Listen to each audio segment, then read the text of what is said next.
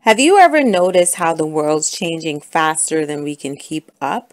I mean, remember when we thought online shopping was revolutionary?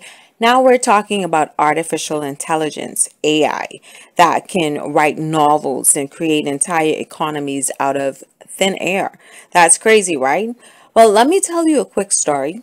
Just the other day, I was watching the US news and observed a news story with a lady at a grocery store. Nothing unusual when I noticed something weird at checkout. This lady had no purse, no phone, but somehow she walked out with her groceries like magic. Turns out she scanned her palm. Her palm, yo. no cash, no card, just her hand. Now, I'm not easily rattled, but something about that felt off. You know what I mean? Like we're stepping into some futuristic sci fi world we didn't sign up for.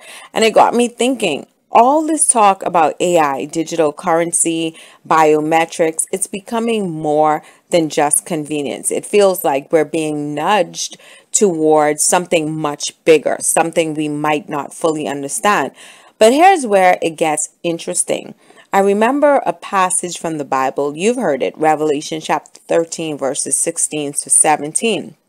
And it says, And he caused all, both small and great, rich and poor, free and bond, to receive a mark in their right hand or in their foreheads, and that no man might buy or sell, save he that had the mark or the name of the beast or the number of his name. And I wondered, are we already in the middle of that prophecy? Could artificial intelligence and digital currency be the modern day version of that mark?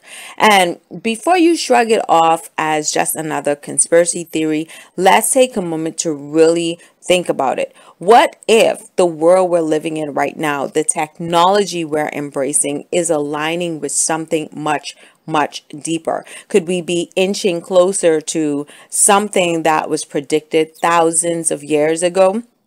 I mean, who would have thought your next transaction might involve more than just tapping your card, right? But what about you? Does this all seem like progress or are we walking right into the unknown without even realizing it? Let's dive in because what we're about to uncover about AI, digital currency, and the end times might just change the way you see everything happening around us. All that and more right here on the Pretty Fox podcast.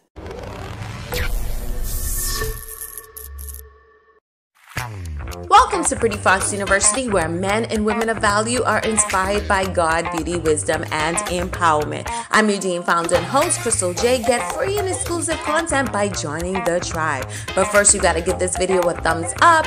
Next, subscribe to the channel and hit that bell notification to be informed each time a hot new topic drops. Last but not least, check out the description box for more info on how you can donate to the channel.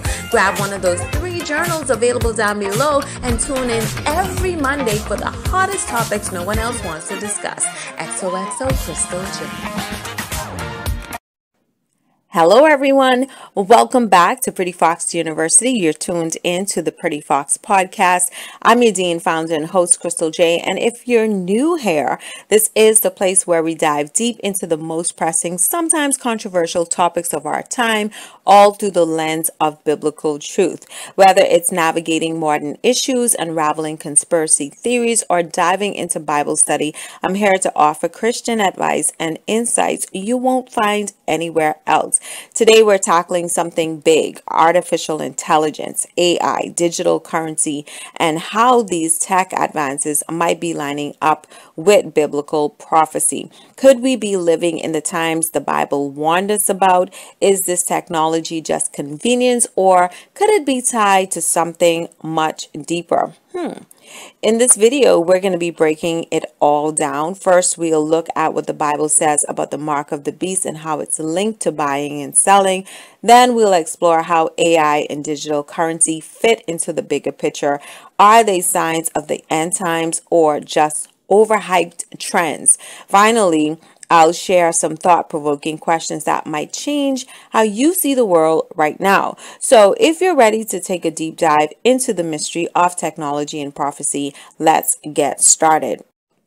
But before we dive into the real meat of today's topic, I want to take a quick moment to invite you to be a part of this journey with me. If you find value in these conversations, make sure to hit that like button and share this video with friends or family who might need to hear this. And hey, if you haven't already, don't forget to subscribe and tap that notification bell so you don't miss any of the deep dives we're doing into faith, prophecy, and the world around us. I'd also love to hear your thoughts in the comment section below. Do you think AI and digital currency could be part of biblical prophecy or are we reading too much into it? Your insight matters. It's all about building a community where we can grow and learn together. And if you feel led to support the channel and the work we're doing here, there's a link in the description box where you can donate. Your generosity helps me keep bringing these conversations to life, reaching more people with the truth and love of Christ. So thank you all for your support. It truly means the world to me. All right, let's get into it. Now, I know the idea of AI, artificial intelligence, digital currency, and the end times might sound like something out of a sci fi movie, but if you've been paying attention to what's happening in the world today, it's hard not to see the parallels to biblical prophecy.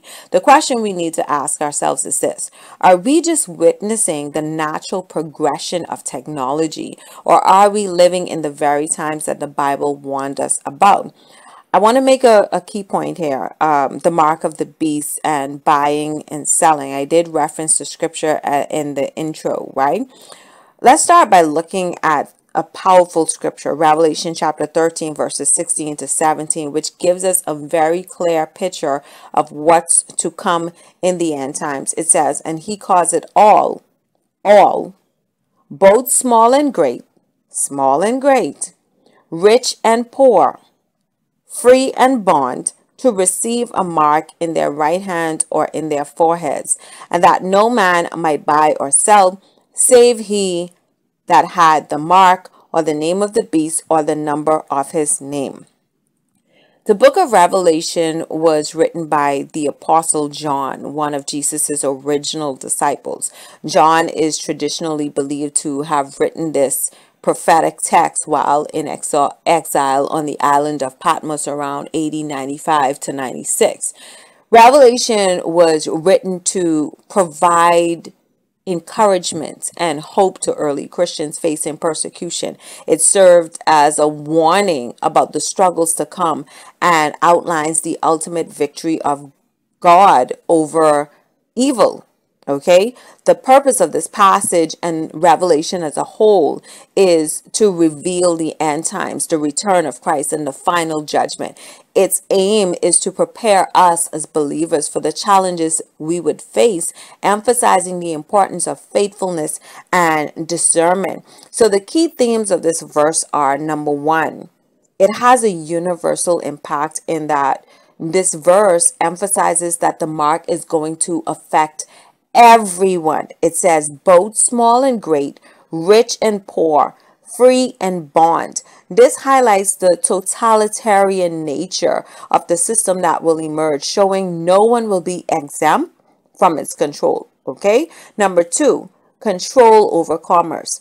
The statement that no one will be able to buy or sell without the mark indicates a future where economic participation is linked to allegiance to the system. It suggests that the ability to engage in basic economic transactions will be tied to compliance with the mark. Number three, spiritual implications. So, what this means is that receiving the mark is seen as a form of allegiance to the beast which is often interpreted as the Antichrist, which poses a significant spiritual dilemma for us as believers because it presents a choice between economic survival and faithfulness to God. There are three main interpretations and implications um, in this passage. Number one is the mark as being technological. Many modern interpretations suggest that advancements in technology like digital currency and biometric identification could serve as precursors to the mark of the beast. The emphasis on the right hand and the forehead is seen as a potential reference to biometric implants and digital IDs. Number two is societal control. The control over buying and selling reflects a larger theme of technology increasing increasingly governing daily life. Okay? Number 3, moral and ethical dilemmas. So this verse raises profound moral questions about participation in a system that may oppose biblical principles. For many, the choice between survival and faith will be a crucial moment of testing. But before we move on, I just want to share my belief on the metaphoric interpretations of the right hand and the forehead as mentioned in this verse because it's very, very critical. Number one, I see it as a symbol of action and thought. What do I mean by that? The right hand. The right hand is often associated with action, strength, and work. In this context, receiving a mark on the right hand could symbolize an individual's willingness to engage in actions that align with the system of the beast. It may represent the physical acts of loyalty, commerce, or participation in the world's economy. Now, when it comes to the forehead, the forehead typically symbolizes thought, belief, and identity. A mark on the forehead could represent the acceptance of the beliefs and ideologies of the beast system. It, it suggests a mindset that aligns with the values of the system, indicating an internal commitment rather than just external compliance. Number two, the second point I want to make as it relates to this is identity and allegiance. So, to me, the mark can be seen as a metaphor for identity. By marking the right hand and the forehead, it symbolizes a complete identification with the beast, both in actions, the right hand, and in thoughts or beliefs, the forehead. So this interpretation underscores that allegiance to the beast is not merely a matter of physical compliance, but it also involves a profound internal commitment. Number three, total conformity. This duality, I would say duality, it emphasizes a holistic conformity to the beast system. What do I mean by that? It suggests that followers will be required to conform both behaviorally through their actions and ideologically through their beliefs. It can it can be interpreted as a warning against the dangers of total assimilation into a system that opposes God. Number 4, I would say is spiritual warfare. In a spiritual context, the right hand and forehead could signify the ongoing battle between good and evil in the believer's life. The mark could represent the ultimate choice between following God's way or succumbing to a system that is against his will. Number five is cultural and societal commentary. What do I mean by this? Um, metaphorically, the passage may also comment on the societal pressures to conform. The emphasis on these locations could reflect how society tries to dictate our actions, work, economic participation, and our thoughts, which are our belief systems, our values. So, this interpretation aligns with current discussions about technology's influence on personal behaviors and beliefs. Now, think about that for a moment. Buying and selling, something we do every single day, is tied to this mark according to this verse. Not just some people, but everyone, regardless of their status. And here's the thing we're already seeing systems that could make this a reality. Look at the rise of digital currency, whether it's cryptocurrency, NFTs, uh, di digital wallets, or even biometric payment systems. We're slowly moving away from traditional cash. The question is, could these technologies be setting the stage for what Revelation is talking about? Could digital currency be the precursor to a global system where buying and selling will require more than just the swipe of a card, but a mark on digital identification. The second point I want to make is about AI and control. All right, there's there's AI. We're living in a world where artificial intelligence is becoming more and more integrated into every aspect of our lives. It's predicting our behavior, it's monitoring our spending, and even controlling financial markets. In a way, it's like we're handing over control to something we don't fully understand. That brings me to another passage of scripture from Second Thessalonians chapter 2 verses 3 to 4. It says, "Let no man deceive you by any means, for that day shall not come except there come a falling away first, and that man of sin be revealed, the son of perdition, who opposed and exalted himself above all that is called God, or that is worshipped, so that he as God sitteth in the temple of God, showing himself that he is God. Number one, let me let me start with context of passage, right?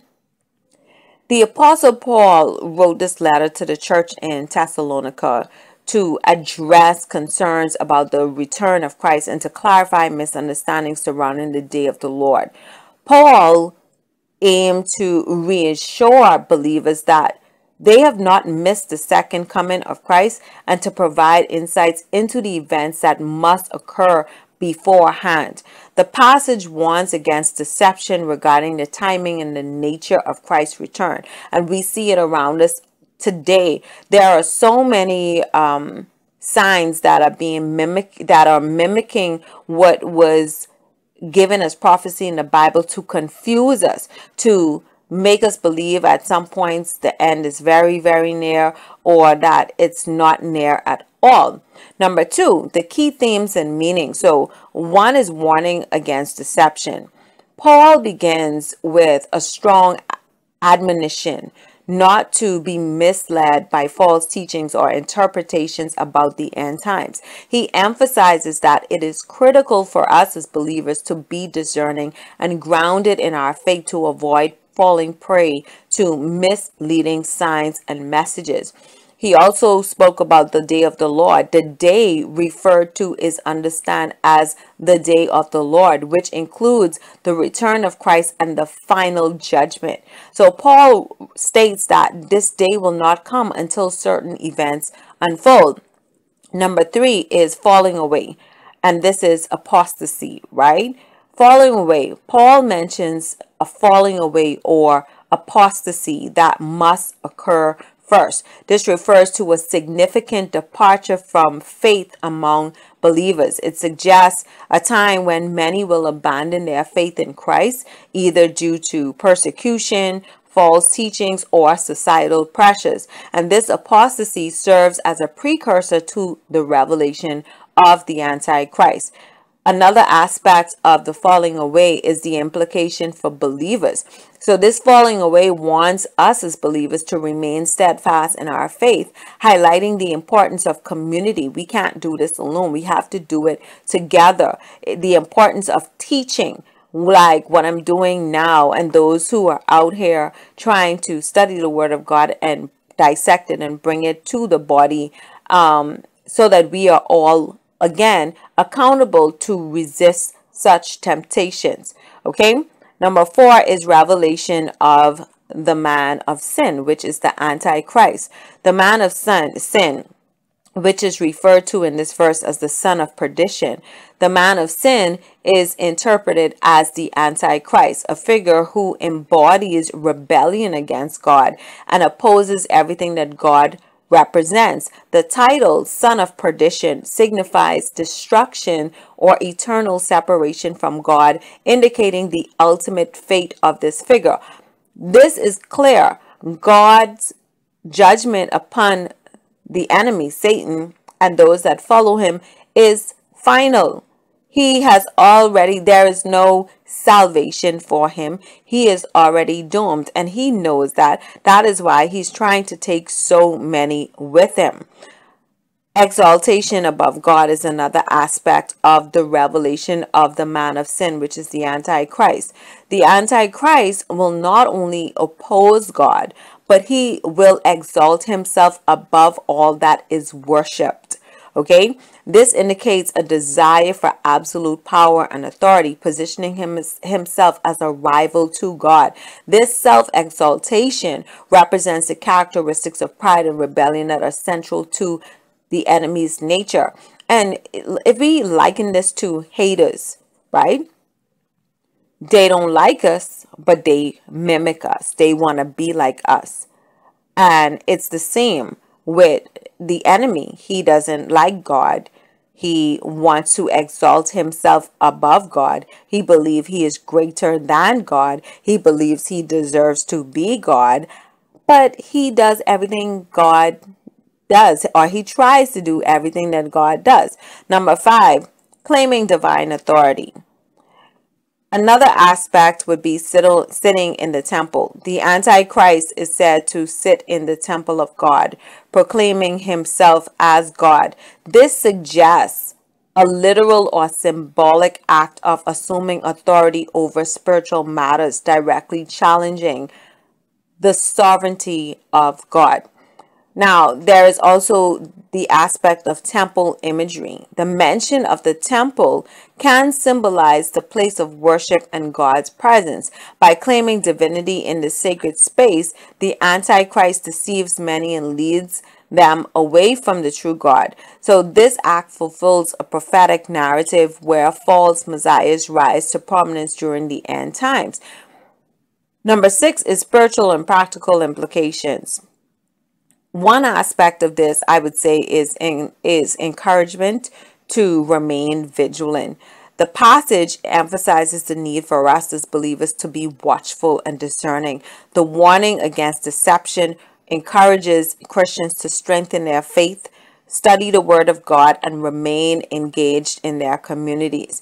Understanding of End time events is another critical aspect because the scripture provides a framework for understanding the sequence of end time events. That is why it's important to read the Bible, read Daniel, read um, Revelations, all these books that have the prophetic messages within them. Believers are encouraged to recognize the signs of the times, including the apostasy and the revelation of the Antichrist as indicators of the approaching return of Christ. AI isn't just about convenience, it's about control. And what happens when a system backed by AI becomes so powerful that it controls not just our actions, but our very decisions? Could it be part of a deception that leads to the rise of the Antichrist as prophesied in Thessalonians? Now, there is a conspiracy angle that I want to bring here, and it's about big tech and global power. Just hear me out. Now, here's where the conspiracy angle comes in. Some believe that big tech through AI and digital currencies could be part of a larger global agenda to centralize power and control, and I am one of them. Think about it. If everything we do is being monitored, recorded, and controlled by a handful of tech companies, doesn't that sound eerily similar to what Revelation warns us about? And let's be real here. It's not hard to imagine a future where the mark of the beast could be a digital ID or a biometric chip tied to your ability to buy, sell, or even participate in society. Okay? But what, what do you think? Are we overreacting or could there be something deeper at play here? Is it just a coincidence that these technologies are emerging now or are we inching closer to the fulfillment of biblical prophecy? I'd love to hear your thoughts in the comment section. Let's let's be open to having a discussion about this.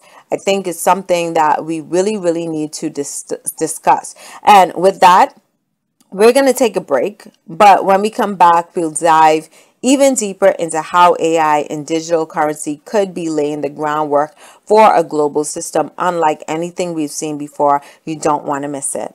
Welcome to Pretty Fox University, where men and women of value are inspired by God, beauty, wisdom, and empowerment. Introducing our latest innovation, the Pretty Fox Journals. Whether you're jotting down notes from our episodes or tackling our episode assignments, we've got you covered with three specialized journals tailored to your preferences. Ladies, meet the Pink Journal, crafted with elegance and sophistication. Its feminine charm makes note taking a delightful experience, perfect for capturing your thoughts and ideas in style. Gentlemen, say hello to the Teal Journal, designed with a touch of masculinity and class. Its sleek exterior and sturdy build ensure that your notes are kept safe and organized, empowering you to conquer every academic challenge with confidence. And for those of you who appreciate timeless elegance, we present the Gold Journal. With its luxurious design and universal appeal, it's the perfect companion for both men and women, blending style with functionality seamlessly. Ready to elevate your note taking game? Purchase your Pretty Fox journals through the link in the description box below. Before we dive into the 11 crucial ways AI and digital currency might be shaping a global landscape unlike anything we've seen before, I want to take a moment to invite you to join this conversation. If you're curious about how these technological advancements tie into our faith and the prophetic messages of the Bible, you're in the right place. Don't forget to hit that like button if you find value in our discussion. Your support helps spread the word. And if you haven't subscribed yet, now's the perfect time to join our growing community. Let's explore this together. Comment below with your thoughts and questions and share this video with friends who might be intrigued. Together, we can navigate these complex issues with faith and wisdom. Now, let's get into it. Here are the 11 ways AI could be laying the groundwork for a new global system. I'll start with number one centralized control of financial transactions. Let me explain. Digital currencies, especially those issued by governments, allow for centralized oversight, meaning authorities can monitor and control all economic activities. This centralization can lead to a lack of privacy in financial transactions as everything is recorded and they're traceable. Consider a hypothetical scenario where a government implements a digital currency that tracks all purchases. If someone donates to a charity that the government disapproves of, they could face penalties or restrictions on their spending. So my advice here would be to like stay informed about the digital currency landscape and advocate for transparency and accountability in financial regulations. Consider using alternative currencies or payment methods that prioritize user privacy and advocate for ethical financial practices in your community. The second point I have here written down is increased surveillance and data collection.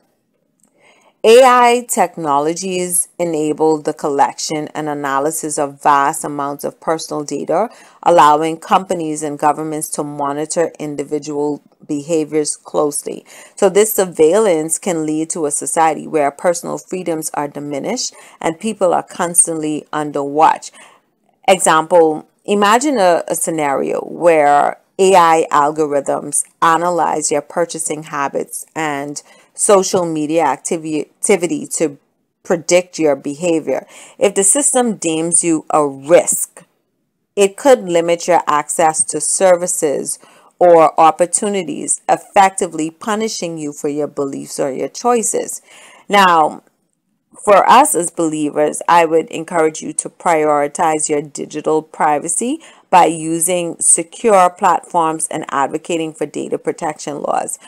Engage in conversations within your church about the importance of maintaining personal freedom and privacy, promoting awareness of how technology impacts individual liberties.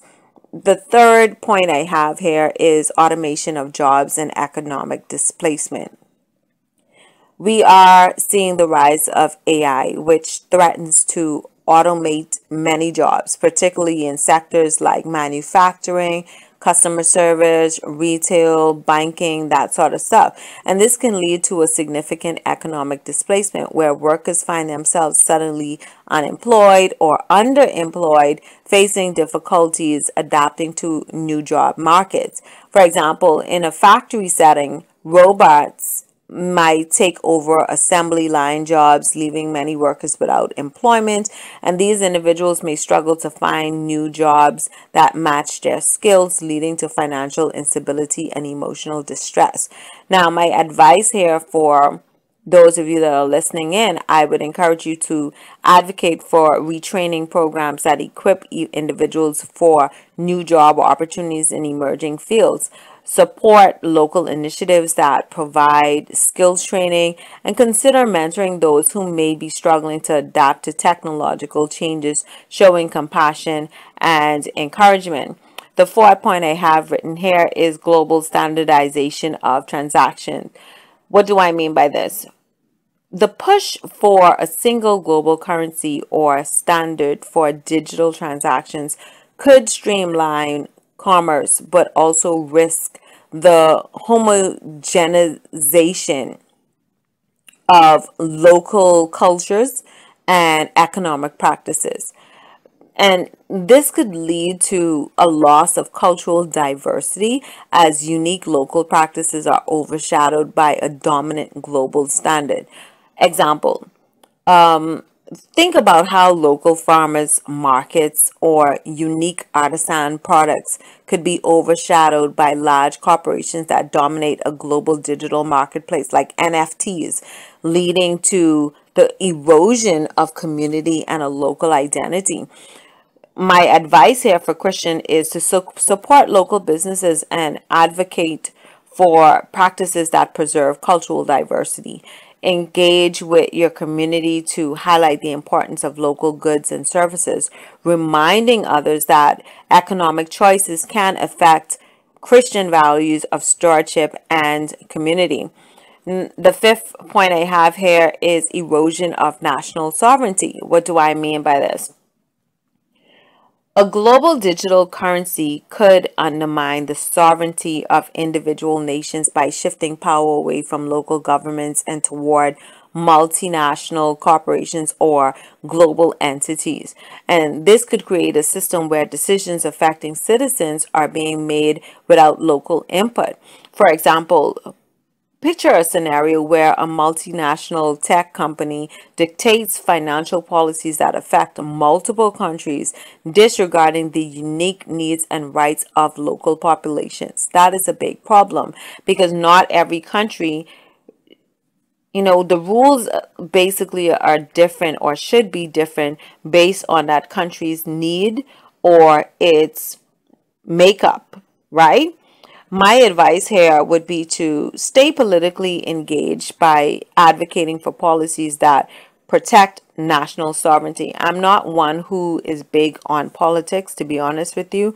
And I've been trying to keep myself educated in the arena of politics. I've been listening to a lot of the debates. I've been listening to the, you know, campaigns between the VP and the VP elect, uh, VP, sorry, and uh, Donald Trump. That's Kamala Harris and Donald Trump.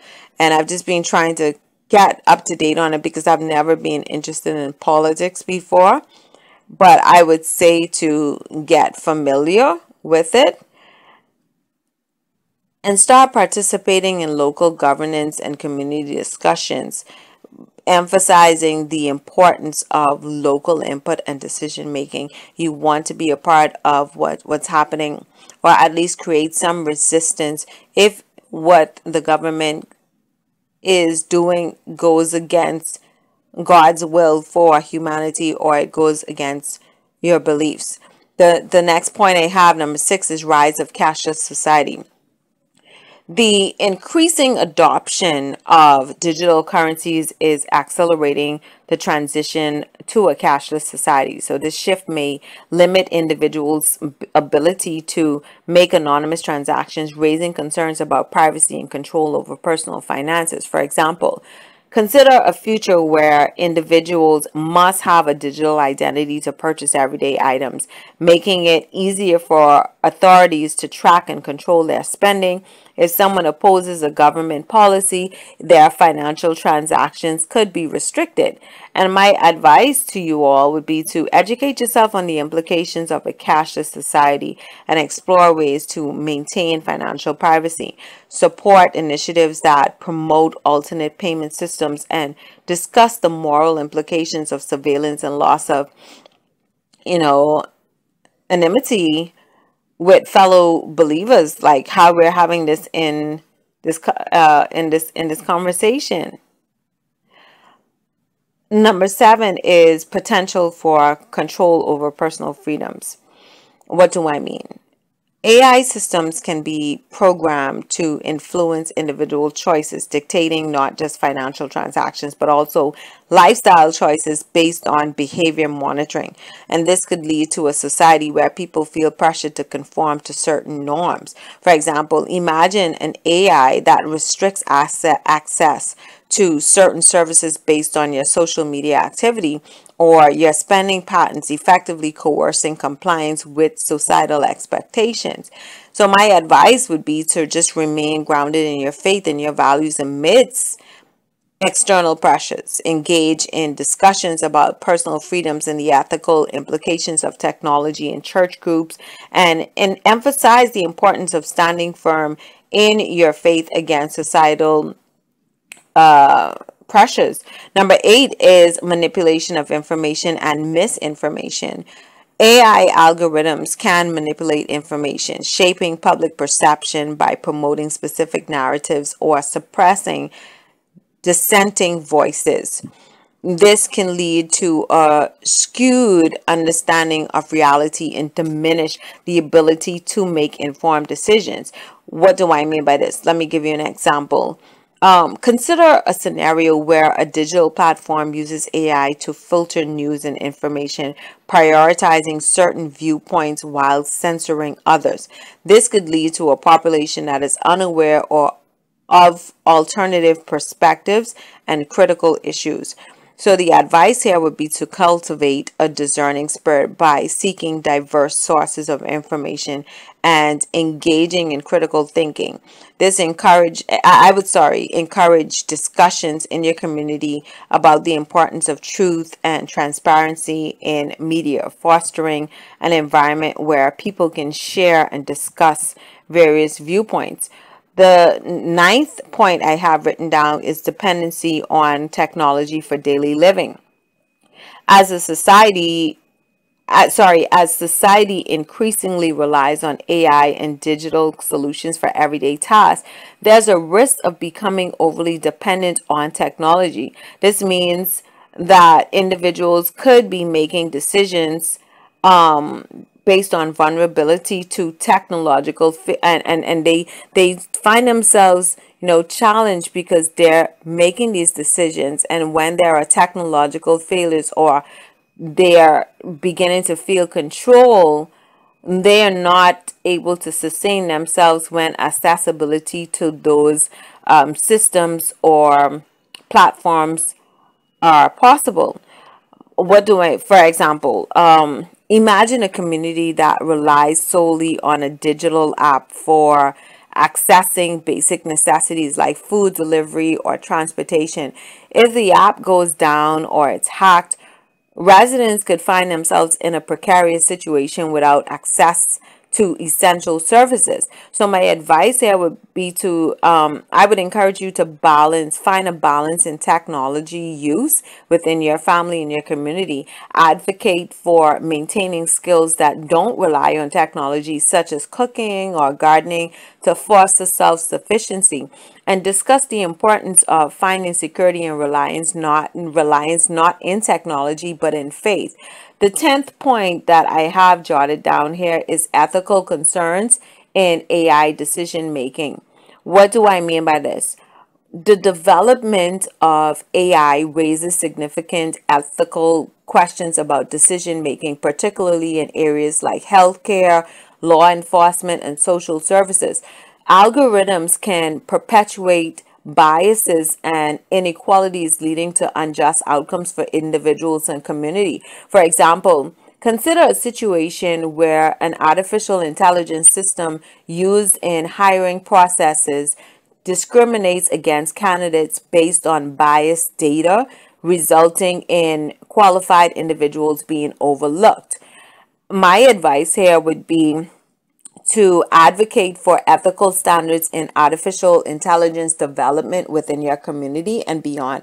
Encourage conversations about fairness, justice, and compassion in technological advancements, reminding others that all people are created in the image of God and deserve equitable treatment. I have the 11th point, which is shifts in social dynamics and relationships. The rise of artificial intelligence and digital currencies can alter social dynamics as face to face interactions are replaced by digital communications. So, this shift can lead to feelings of isolation and disconnect, impacting community bonds. For example, picture a scenario where families choose to engage in online shopping or entertainment at the expense of family meals or gatherings, resulting in a weakened familial connection and support system. So, my advice would be to promote the importance of maintaining personal connections and community involvement. Organize events or activities that foster face to face interactions and strengthen relationships, reinforcing the biblical call to love and support one another. The 12th point I have here is erosion of trust in institutions. What do I mean by this? As technology becomes more pervasive, people may begin to distrust institutions due to perceived manipulation, data breaches, or ethical concerns. And this erosion of trust can lead to societal fragmentation, and skepticism toward authority. For example, imagine a community where residents no longer trust local government or in institutions after a scandal involving data misuse. So, this distrust could lead to disengagement from civic duties or community participation. Therefore, my advice in the situation would be to encourage transparency and accountability in local institutions and foster a culture of trust through open dialogue and engagement. Promote biblical values of honesty and integrity within your community, reminding others of the importance of working together for the common good. All right, so we've reached the end. Let's just bow our heads in prayer and pray about this situation. Dear Heavenly Father, I come before you today with a humble heart, seeking your strength and your guidance in these challenging times. I acknowledge that you are the creator of all things and your wisdom surpasses human understanding. Lord, as we navigate a world increasingly influenced by technology, I stand in faith against the schemes of the enemy that seek to manipulate, control, and deceive. Lord, I ask for your divine protection over our minds, over our hearts, over our souls. Shield us from the fear and anxiety that arise from the uncertainties of this di- digital age. Help us to remain steadfast in our faith and to recognize that our security lies not in technology, but in you alone, O God. In the mighty name of Jesus, I bind any spirit of fear that tries to creep into our hearts regarding the advancement in artificial intelligence and digital currency, I declare that we will not be led astray by misinformation, manipulation, or control. Your word says in 2 Timothy chapter 1 verse 7, For you had not given us the spirit of fear, but of power and of love and of a sound mind. I claim that promise upon us right now. Father, I pray for discernment and wisdom as we engage with these technologies. Guide our decisions and our actions so that they align with your will. Help us to be a light in this world, advocating for true justice and ethical standards in face of manipulation and control. Grant us the courage to speak out against injustices and to stand firm in our faith. I also lift up our communities, dear God, asking for your hand of protection and guidance over them. Unite us in purpose and resolve as we navigate these changes together. May we support each other, dear God and hold fast to the truth of your word, which is our anchor in turbulent times. Lord, I ask for a revival of righteousness in our world. Let your spirit move through our communities, awakening hearts and minds to the importance of integrity, honesty, and compassion in all areas of our life, including technology. May your light shine through us, dispelling darkness and revealing the truth. Thank you, Father, for hearing and answering our prayer. We place our trust in you and stand firm on the promises of your word. In the mighty name of Jesus, we pray. Amen, amen, amen. Wow. What an eye opening discussion we've had today about artificial intelligence and digital currency as they are laying the groundwork for a global system. If you found this exploration as intriguing as I did, don't forget to like this video. After all, thumbs up are the new amen. and if you want to keep diving into conversations that matter, hit that subscribe button and ring that notification bell so you won't miss any of our future content. We're on a journey together and I want you to be a part of it. If you'd love to hear um, more from us, do join the family. I'd love to hear your thoughts as well. Drop a comment below sharing your insights or your questions. Who knows, your comment might just inspire our next video. And if you know someone who needs to hear this, go ahead and share it with them. Let's spread the word and encourage one another in these changing times. Remember, when it comes to navigating the the complexities of technology and faith. We're all in this together like a big family, just without the awkward holiday dinners, right? Until next time, stay curious, stay faithful, and keep shining your light in this digital age. XOXO Crystal J. Ooh.